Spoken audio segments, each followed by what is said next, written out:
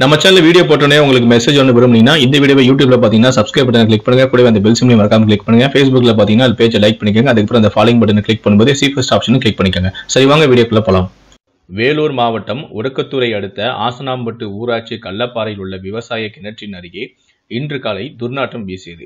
இதனால் அவ்வழியாக சென்றவர்கள் சந்தேகமடைந்து கிணற்றில் எட்டி பார்த்தபோது கிணற்றில் ஒரு கோணிப்பை மிதந்தது தெரிய வந்தது இதனால் அதிர்ச்சியடைந்த அவர்கள் விஏவான தீபாவுக்கு தகவலை தெரிவித்தார்.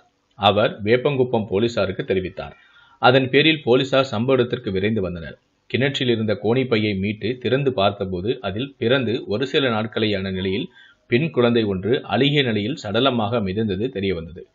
இக்குழந்தை யாருடையது? இது கொலை செய்யப்பட்டு கிணற்றில் வீசப்பட்டதா? எதற்காக இவ்வாறு செய்தார்கள்? இந்த கொலையின் பெற்றோர் யார்? கொலையாளிகள் யார் என விசாரணையை போலீசார் தீவிரப்படுத்தினார்கள்.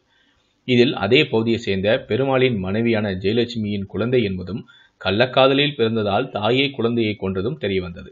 இதையடுத்து அவரை பிடித்து விசாரணை நடத்தினார்கள். விசாரணை குறித்து போலீசார் கூறியது என்னவென்றால் பெருமாளுக்கும் ஜெயலட்சுமிக்கும் திருமணமாகி பனிரெண்டு ஆண்டுகள் ஆகிறது. கூலி தொழிலாளிகளான இவர்களுக்கு பதினொன்று மற்றும் ஒன்பது வயதில் இரண்டு மகன்கள் உள்ளனர். தம்பதிகளிடையே அடிக்கடி தகராறு ஏற்பட்டதால் கடந்த ஓராண்டுக்கு மேலாக இருவருமே பிரிந்து தனித்தனியாக வசித்து வருகிறார்கள்.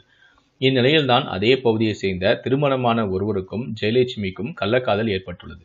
அடிக்கடி அவர்கள் இருவருமே தனிமையில் சந்தித்து உல்லாசமாகவும் இருந்துள்ளனர். இதனால் லட்சுமி கர்ப்பமாகினாராம் கர்ப்பிணியாக பிற கர்ப்பிணியான பிறகு அவர் யாருக்கும் தெரியாமல் வீட்டுக்குள்ளேயே இருந்துள்ளார். கடந்த இருபதாம் தேதி வீட்டிலேயே அவருக்கு பெண் குழந்தையும் பிறந்துள்ளது. கணவர் பிரிந்து சென்ற நிலையில் வேறு நபருடன் ஏற்பட்ட தொடர்பால் குழந்தை பிறந்தது ஊருக்கு தெரிந்தால் அவமானமாகிவிடும் என கருதிய ஜெயலட்சுமி மறுநாள் காலை இந்த குழந்தைக்கு எருக்கம்பால் கொடுத்துள்ளார். இதில் குழந்தை சிறிது நேரத்திலேயே பரிதாபமாக இறந்ததாகவும் தெரிகிறது. பின்னர் சடலத்தை உடனடியாக வெளியே கொண்டு சென்றால் அனைவருக்கும் தெரிந்துவிடும் என கருதி ஜெயலட்சுமி அன்றிரவு வரை காத்திருந்தார்.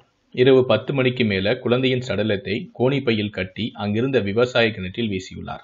இவ்வாறு போலீசார் தெரிவித்தனர். இது தொடர்பாக ஜெயலட்சுமியிடம் போலீசார் தொடர்ந்து விசாரணை நடத்தி வருகிறார்கள். கள்ளக்காதலில் பிறந்த குழந்தையை கொலை செய்து சடலத்தை தாயை கிணற்றில் வீசிய சம்பவம் பெரும் அதிர்ச்சியை ஏற்படுத்தியுள்ளது. இதை பற்றி உங்களுடைய கருத்துக்களை மறக்காம பதிவு பண்ணுங்க.